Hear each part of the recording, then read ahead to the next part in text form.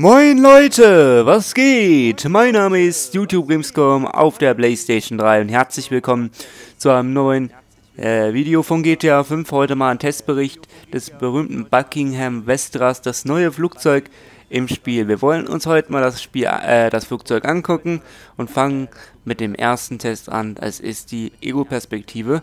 Und zwar zeige ich euch heute mal die Seite vom Fahrer. Sieht ganz ordentlich aus. Wir haben hier einen Flügel, einen anderen Flügel, einen Steuerknüppel. Funktioniert alles, sieht relativ gut aus. Ego-Perspektive sieht übrigens so aus, auch wenn ich jetzt in die Drittperson-Perspektive wechsle, sieht das Ganze so aus. Was mir aufgefallen ist, der Vestra kann sehr viel, er kann Loopings machen, das kann ich euch hier mal ganz klar demonstrieren.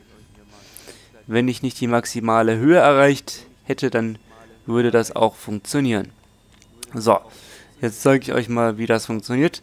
Es kann eigentlich alles, was ein, äh, ja, ein Standflugzeug auch kann. Ich kann hier Schrauben machen, ich kann hier auf dem Kopf rumfliegen und so weiter. Er ist aber nicht so wendig wie ein Standflugzeug, das muss ich nochmal sagen, aber er ist schneller als ein Standflugzeug.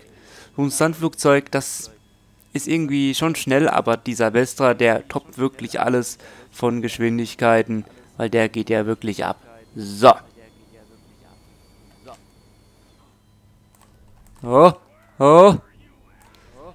Nein.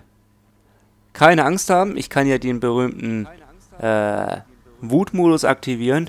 Für die Leute, die das nicht wissen, wenn ich den Wutmodus aktiviere, kann ich nicht sterben. Ich bin also unbesiegbar. Und da hinten ist das Flugzeug explodiert. Und wenn es explodiert, dann bekommt ihr auch einen Fahndungsstern weil das Flugzeug abgestürzt ist. Ist aber nicht besonders wild. Und ja, da drin hätte auf jeden Fall keiner überlebt, das kann ich euch jetzt schon mal sagen. Ein Sturz mit 200 Stundenkilometer auf dem Boden, das überlebt keiner. Das überlebt keiner, das kann ich euch sagen. Ja, und da ist es. Totales Wrack. Aber ich konnte mich ja mit dem Wutmodus retten. Fallschirm hatte ich nicht dabei.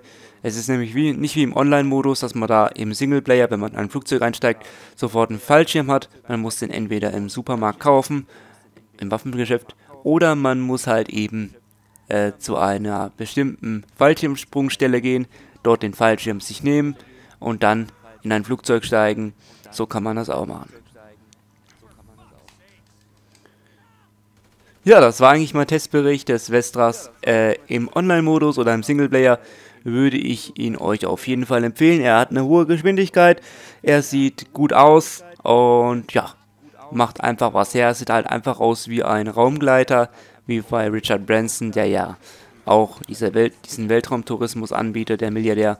Äh, finde dieses Flugzeug sehr cool. Ich finde, es ist das beste Flugzeug, was es gibt.